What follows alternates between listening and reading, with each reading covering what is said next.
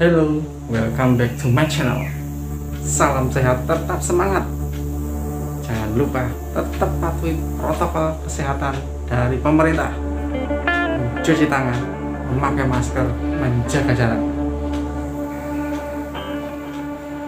Kali ini kita mau bahas Barcelona yang seperti dugaan saya mulus mengalahkan USK 4-1 dini hari tadi. Tapi bukan soal gol-golnya yang kita mau bahas, tetapi hal-hal menarik di dalam pertandingan tersebut. Yang pertama, Messi dini hari tadi menyamai rekor sang legenda yaitu Xavi Hernandez yaitu dari sisi penampilan terbanyak di uh, klub luar biasa. Entah kapan rekor ini bisa disamai oleh pemain lain selain Messi ataupun Xavi yang lebih luar biasa lagi dari pertandingan dini hari tadi adalah penampilan sempurna dari sosok Lionel Messi.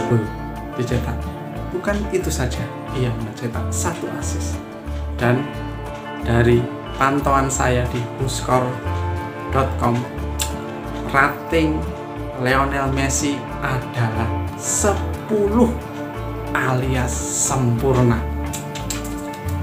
Luar biasa sempurna dan layak menjadi ataupun terpilih jadi man of the match di laga tersebut. Dan pada akhirnya memang Lionel Messi uh, terpilih sebagai man of the match saat mengalahkan Huesca. Yang juga tak kalah menarik di laga dini hari tadi adalah Griezmann pemain ini sena, uh, sering kali dijadikan kambing hitam atas beberapa hasil tak maksimal Barcelona uh, sebelum-sebelumnya. Entah itu di, di, di Liga Champions maupun di laga-laga yang lain. Griezmann dianggap pupuk bawang kalau orang uh, orang Jawa bilang pupuk bawang hanya pelengkap bahkan bisa dibilang tak memiliki fungsi apa-apa. Pernyataan mengejutkan yang terakhir beberapa hari yang lalu adalah pernyataan dari salah satu legenda Barcelona yaitu Stoikov. Melalui dikutip dari Twitter Barca Universal dia menyatakan bahwa Barcelona seperti bermain dengan 10 orang saat Griezmann ada di lapangan. Artinya apa? bukan hanya sebagai pelengkap Griezmann malah justru seperti mengurangi pemain Barcelona dan luar biasanya Griezmann tidak banyak ngomong tidak banyak mengkonter pernyataan itu tapi menjawabnya di lapangan dengan mencetak gol yang indah seperti halnya dicetak oleh Messi di gol pertama maupun Messi pada waktu Liga Champions beberapa hari yang lalu luar biasa. Griezmann menjawab berbagai kritik, menjawab keraguan-keraguan dengan gol yang luar biasa. Yang berikutnya yang menarik adalah Minguisa. Minguisa ini sebagai sosok pemain yang mirip-mirip uh, dengan Sergio Roberto. Dia bisa bermain di beberapa posisi, baik itu center back maupun di fullback maupun di gelandang serang. Minguesa menjadi salah satu alternatif yang positif menurut saya untuk skuad Barcelona saat ini. Di samping uh, ngotot, uh, dia juga masih sangat mungkin untuk berkembang karena usianya masih sangat muda. Yang menarik di laga ini adalah Minguesa, Oscar Minguesa mencetak gol perdananya untuk tim utama Barcelona. Dan hmm, uh, itu menjadi satu satu bukti bahwa uh, La Masia belum habis. La Masia belum habis.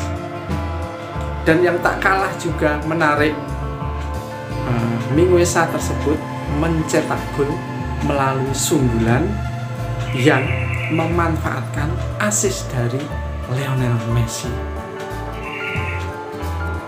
Kita tahu Messi memang sering kali memberikan umpan-umpan yang memanjakan. Kita juga mencatat atau kita juga mengetahui bahwa Ilai Moriba mencetak gol perdana juga melalui asis Lionel Messi di La Liga pekan sebelumnya. Luar biasa. Dan setelah saya mencari-cari stalking, stalking, searching, searching, ternyata asis Lionel Messi kepada Minguesa adalah asis yang ke-21 yang diberikan Lionel Messi untuk gol debut para pemain La Masia. Mantap. Lionel Messi membuka jalan bagi pemain-pemain muda untuk berkembang dan dia memfasilitasinya dengan umpan-umpan mata. Mantap Lionel Messi. Jadi tidak salah jika Lionel Messi menjadi pusat perhatian di laga yang sangat penting dini hari tadi. Yang berikutnya, kemenangan Lionel Messi dan kawan-kawan memperpendek jarak dengan Atletico Madrid menjadi 4 poin saja. 4 poin. Bukan sesuatu yang susah untuk dilewati. Jadi siap-siap Atletico Madrid segera dilewati. Barcelona Bursa Barca Fiska Barca